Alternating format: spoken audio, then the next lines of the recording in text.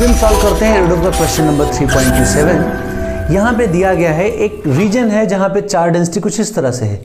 Rho is equal to rho not E power में minus epsilon minus alpha R cube तो बोला यहाँ कहीं पे आर लोकेशन पे फ़ील्ड बताओ क्या होगा। सो आर लोकेशन पे अगर हम फ़ील्ड बताएँ तो आर लोकेशन पे फ़ील्ड निकालने के लिए फिर से हम अगर गॉस लॉ लगा के देखें तो यहाँ पे मुझे चार्ज इनक्लोज चाहिए होगा इस रीजन में। जैसे अगर मुझे यहाँ पे फ़ील्ड चाहिए तो मुझे आर डिस्टेंस चाहिए तो ये पूरा इतने में जितना चार्ज इनक्लोज है वो चाहिए। अब ये आर डिस्टेंस में पूरा आर रेडियस का जो स्फीयर है, उस स्फीयर में अगर चार्ज इनक्लोज निकालना है so Q enclose is equal to क्या करेंगे? Q enclose is equal to करेंगे हम लोग density into four pi R square D R इसको इंटीग्रेट कर देंगे ज़ीरो से लेके आर तक। अब क्यों किया ऐसा? क्योंकि डेंसिटी पता था और ये जो स्ट्रिप दिखाई है, इस स्ट्रिप की विथ थ्री डी और इसका एरिया हो जाएगा फोर पाई आर स्क्वायर तो ऐसे मल्टीप्लाई कर दिया। तो इसको अगर हम इंटीग्रेट करेंगे तो चार्ज इनक्लोज आ जाएगा। अब इसको इंटीग्रेट करते हैं, आइए। तो इसको इंटीग्रेट करेंगे तो क्या मिलने वाला है हमें? वैसे देखें rho not E alpha minus का आर क्यूब और four pi R square D R है।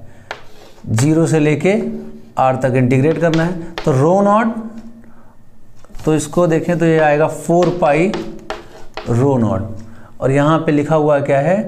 E power minus alpha R cube into R square D R इसको इंटीग्रेट कर लेते हैं ज़ीरो से लेके आर तक। आएगा क्यू इनक्लोज की जो वैल्यू आ जाएगी, वो आ जाएगी फोर पाई ठीक है?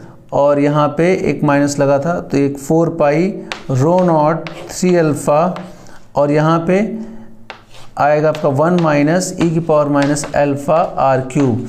क्यों? क्योंकि आर क्यूब रखोगे तो ये आर रखोगे तो आर क्यूब हो जाएगा, ज़ीरो रखोगे तो वन हो जाएगा, लेकिन इसको इधर लेके आएँगे क्योंकि माइनस लगा था तो ये इधर हो जाएगा। तो इतना चार्ज इनक्लोज होगा इस रीजन में। अब मुझे निकालना है फ़ील्ड। फ़ील्ड निकालने के लिए क्या करेंगे हम लोग? अब गौसला लगाएँगे। हमें पता है कि E dot D A close integration is equal to होता है Q enclose divide by epsilon not so Q enclose कितना है? हमने निकाल ही रखा है E into four pi R square is equal to Q enclose कितना है? Four pi rho not divide by three alpha और यहाँ पे वन माइनस ई की power minus alpha R cube ये। अब तो ई आएगा तो क्या मिलेगा? यहाँ पे फोर पाई से फोर पाई कैंसिल हो जाएगा तो ई आएगा rho not divide by three alpha R square one minus E power minus alpha R cube इतना आएगा। अब ये हमारा रिज़ल्ट आ गया इलेक्ट्रिक फ़ील्ड के लिए। क्वेश्चन में आगे भी बोला है, अगर अप्रोक्सीमेशन लगाना है if alpha R cube is much more higher then one तो तुम्हें पता है एक्सपोनेंशियल का ग्राफ कैसा होता है? कुछ इस तरह से बनता है। तो आर के साथ ई की पावर माइनस आर का अगर ग्राफ बनाया जाए तो ये ऐसा आएगा। तो देखो अगर ये बड़ा बहुत बड़ा वैल्यू हो जाएगा तो क्या जाएगा? ऑलमोस्ट ज़ीरो हो जाएगा। सो so, हम क्या बोल सकते हैं? ई e की वैल्यू अप्रोक्सीमेटली क्या आएगी? इस पोर्शन को इग्नोर कर दो।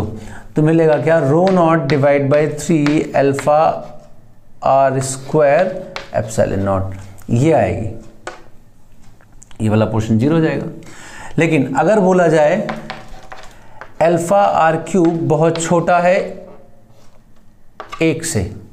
इस केस में हम एक्सपोनेंशियल की सीरीज़ ओपन करके देखते हैं क्या होगा।